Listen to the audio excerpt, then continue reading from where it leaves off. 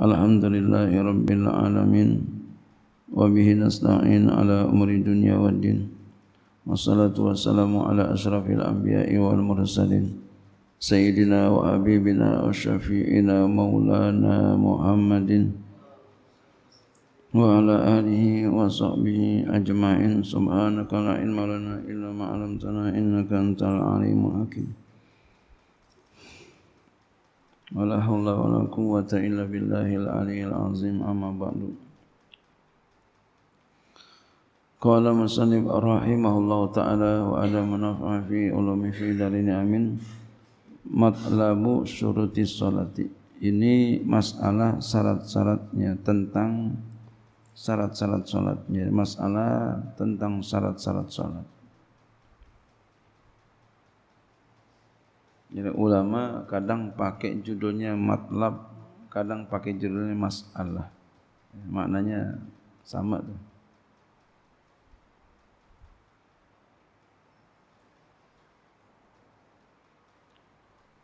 Nah, kita baru mulai akan masuk pembahasan tentang solat. Summa ba'da ma'rifati ma yata'allaqu billahi wa bi rasulihi yajibu alaihi ay ala kulli muslimin baligin akilin ay yata'allama syuruta salati wa arkanaha wa mubtilatiha fa syartu ma kana kharijan an ma'iyati salati wa ruknu wa yuradifuhu al-fardu wa huwa ma kana dakhilal ma'iyati wa syurutuha ay salati isna asyara Summa kemudian ba'da ma'rifati setelah mengenal, mengetahui ma yata'alaku sesuatu yang berkaitan billahi wa rasuli wa bi rasulihi tentang Allah dan Rasulnya.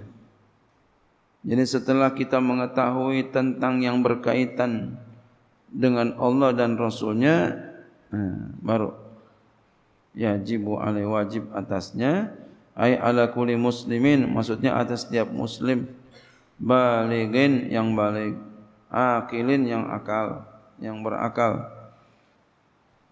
Jadi kalau belum balik belum bisa enggak berakal enggak ya maksudnya kalau belum balik maka enggak kena kewajiban. Ya Oh belum balik belum kena kewajiban. Paling orang tuanya yang kena kewajiban ketika umurnya sudah tamyiz kewajiban merintahkan untuk mencari pengetahuan ini. Hmm. Tapi ketika sudah balik maka yang wajib pribadi orang itu. Jadi setiap pribadi-pribadi yang balik dia wajib melakukan ini. Akilin yang berakal. Artinya orang ini ya mengerti, paham. Bisa diajak berpikir.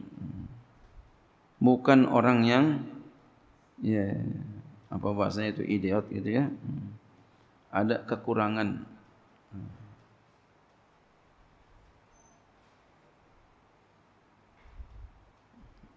Apa namanya? Orang gila namanya kita enggak berakal, orang gila. Hmm itu enggak.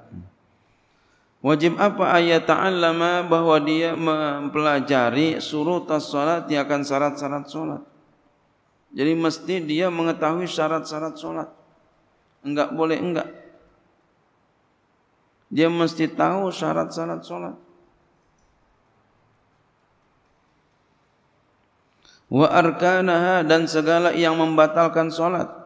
Wa mubtilati dan segala yang dapat membatalkannya. Jadi orang yang balik ya, yang berakal dia wajib belajar ini. Jadi ketika dia enggak belajar ini dosa. Dia enggak mau belajar tentang syarat-syarat solat. Dia enggak mau belajar tentang rukun-rukun solat. Dia enggak mau belajar tentang segala sesuatu yang dapat membatalkan solat. Asima dia berdosa. Kenapa? Karena ini hukumnya wajib setiap pribadi-pribadi yang balik yang berakal. Dia belajar pahala, dia enggak belajar dosa. Maka beruntunglah kita ditakdirkan oleh Allah, digerakkan oleh Allah, kita bisa belajar ini. Dan juga kepada yang lainnya, beruntunglah kita digerakkan oleh Allah. Nah, yang belum, ayo kita langkahkan kaki kita, kita gerakkan diri kita untuk kita bisa belajar tentang salat, syarat-syarat salat, rukun-rukun salat dan segala sesuatu yang dapat membatalkan salat.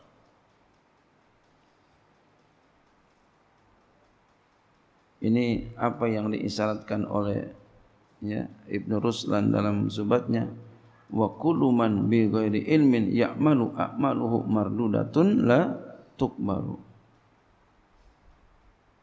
setiap orang yang beramal setiap orang yang wa kullu man bi ghairi ilmin setiap orang yang tanpa ilmu ya'malu dia beramal a'maluhu mardudatun la tuqbalu maka amalnya ditolak la tuqbalu tidak diterima. Makanya wajib belajar. Maka ketika dia solat tapi enggak tahu tentang syarat-syarat solat rukun-rukun solat segala yang membatalkan solat mardudatun la tuqbalu. Ditolak tidak diterima.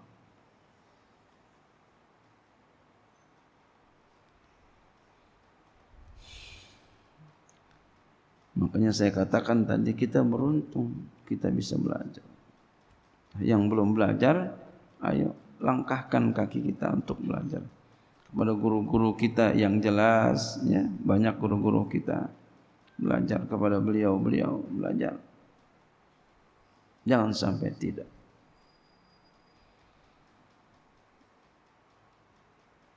Cari maisha kehidupan ya, ya. Kalau memang kita punya kewajibannya itu wajib. Kita punya anak punya istri itu wajib tapi jangan sampai di tengah kewajiban itu kita lupa ini juga ya karena ini adalah merupakan suatu kewajiban yang sangat untuk setiap pribadi apalagi mah yang masih ya belum ada kewajiban anak bini maka kita cari sekuat tenaga untuk mengetahui tentang syarat-syarat solat, rukun-rukun solat yang membatalkan solat. Jangan sampai kita tidak mengetahui tentang ini ngaji. Fasyartu makana kharijan an mahiyati salati. Apa itu syarat-syarat adalah sesuatu yang keluar daripada ya dari hakikat salatnya, dari hakikat salat. Dia keluar dari hakikat salat. Ya. Jadi syarat itu keluar dari maksudnya dari ya, ya lingkungan solat, waktu solatnya. An ma'iyati solati dari hakikat solat. Wa ruknu dan rukun wa yuradifuhul fardu muradifnya fardu sinonimnya bahwa dia itu adalah makana dakhil ma'iyati. Apa yang ada ya rukun itu di dalam hakikat solat. Jadi kalau syarat berada di luar solat. Kalau rukun berada di dalam solat. Iya. Syarat solat, contohnya apa syarat solat? Ya. Syarat solat, suci itu syarat solat. Sebelum kita solat, kita harus bersuci dulu. Udah solat belum? Belum. Ya. Syarat solat apa lagi? Menghadap kiblat. Ya. Kapan menghadap kiblatnya? Sebelum masuk waktu solat dan lain sebagainya. Fasyurutuha ay salati isna asyara. Maka syarat-syarat solat yaitu ada 12. Ya, mohon maaf sampai sini dulu ya. Ya, saya ada acara dulu nih. Wallahu a'lam bishawab.